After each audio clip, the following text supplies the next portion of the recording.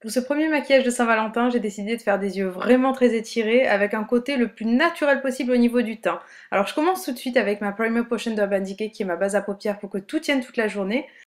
Et je vais prendre ma palette de chez Sleek au naturel et prendre la couleur euh, champagne euh, irisé qui est sur le côté, l'appliquer au doigt pour avoir une bonne concentration de la couleur et surtout quelque chose de parfaitement euh, lumineux au niveau de la naissance du regard. Donc je fais ça vraiment au doigt pour avoir une bonne applique de la couleur, j'aime bien faire ça en ce moment. Et ensuite je vais prendre une couleur très très claire, c'est un blanc mat que je vais appliquer au niveau de l'arcade sourcilière. Alors je l'applique mais je le fais ensuite, donc pas de panique. Et c'est vraiment quelque chose qui va vraiment illuminer sans en faire trop et sans ajouter des irisés inutiles. Avec mon Master Drama qui est un super call, je vais appliquer justement la matière de noir au niveau du cils supérieur mais aussi inférieur. Alors je commence par faire des petits traits et revenir on va dire aux deux tiers de l'œil au niveau du coin externe. Et ensuite, je viens l'appliquer en muqueuse au niveau du bas, mais aussi au niveau du haut pour avoir vraiment quelque chose de parfaitement noir et avoir un effet vraiment euh, très très très très très smoky. Alors là, il faut pas être sensible, hein, je l'avoue. Pour un effet encore plus smoky et que le noir entre bien, fermez à plusieurs reprises des yeux, c'est un peu bizarre lorsqu'on le regarde, mais je vous assure que ça fonctionne bien.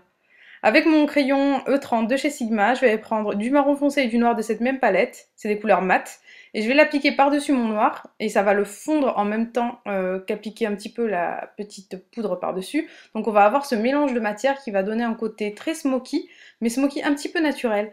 Et avec un petit pinceau fluffy de mon Bunny Kit, je viens flouter le tout en restant quand même près de la ligne que je viens de créer. Donc je l'estompe assez rapidement. Ce pinceau c'est le E40 du Bunny Kit parce que par la suite on va utiliser le E40 basique. Et j'ai décidé de prendre une petite couleur intermédiaire par la suite, toujours de cette palette, avec un pinceau fluffy de chez Sigma. C'est une sorte de beige qui tire vers l'orangé euh, peau, pas orangé orange. Et je l'applique au niveau du creux de paupière de façon à ce qu'il n'y ait aucune délimitation entre l'irisé et le blanc mat. Et vous allez voir, c'est vraiment naturel. Alors ce que je fais, c'est que je reprends mon pinceau et j'applique ce qui reste du pinceau, je ne rapplique pas dessus de la matière pour intensifier un peu. Alors avec un petit pinceau précision, je prends le marron irisé et je l'applique au niveau du ras de cils. Au niveau des couleurs, je mettrai tout sur mon blog de façon à ce que vous retrouviez bien tout ça et que vous puissiez le reproduire avec les couleurs que vous avez chez vous.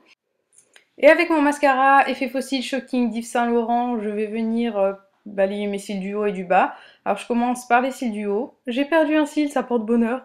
Je ne sais pas si vous le voyez, mais moi je le vois très bien à l'édition. Et donc je l'applique.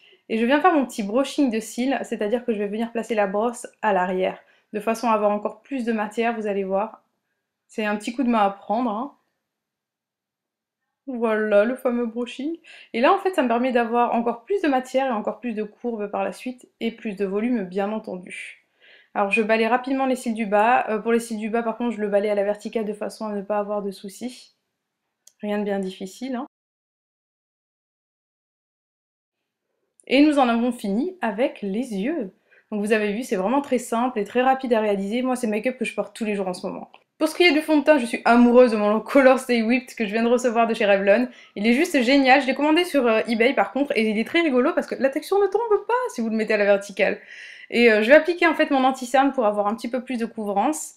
Celui-ci, c'est celui de chez Maybelline, l'effaceur. Vous finissez par le connaître très très bien vu que j'utilise tout le temps et que c'est mon préféré en ce moment. Alors je l'applique et je fonds avec mon annulaire. Rien de bien compliqué. Et ce que je vais faire en fait, c'est que je vais appliquer une fine couche.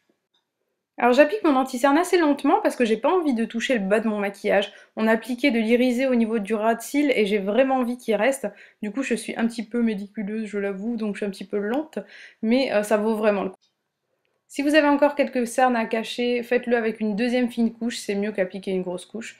Et de cette façon, vous aurez quelque chose qui reste très naturel parce que les hommes aiment ce qui paraît naturel, même si on sait toutes que ça ne l'est pas forcément. On va en rester là pour le teint, j'ai pas envie de poudrer parce que c'est un maquillage de Saint-Valentin, on va simplement appliquer le blush, c'est le Busy de chez MAC. Alors c'est un framboise irisé qui vous donne un petit côté jogging effectué le matin, jogging matinal, et justement j'aime bien ce truc parce que ça nous donne l'impression d'avoir bonne mine naturellement, et c'est ce que je recherche. Et vraiment, lorsque vous êtes dans le cadre d'un maquillage de Saint-Valentin, ce qu'on aime, c'est le naturel, mais quand même un petit peu sophistiqué, c'est-à-dire que les hommes sont encore plus contradictoires que les femmes, plein de paradoxes je pense, et du coup ça ira très très bien. Et je vais vous enlever le mot de la bouche, je pense. Je suis pleine de stéréotypes auxquels je ne crois pas, mais que j'aime bien énoncer. Ah là là, que de choses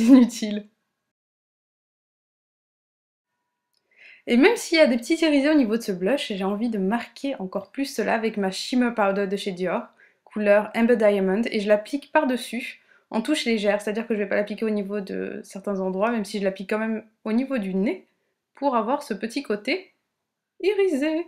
Et aussi au niveau de l'arc de Cupidon, alors je l'applique finalement avec mon doigt parce que je trouve que la diffusion est meilleure. Ça vous donne un petit côté reflétant la lumière. Et en fait, je fonds avec mon pinceau biseauté, sans rien du tout dessus.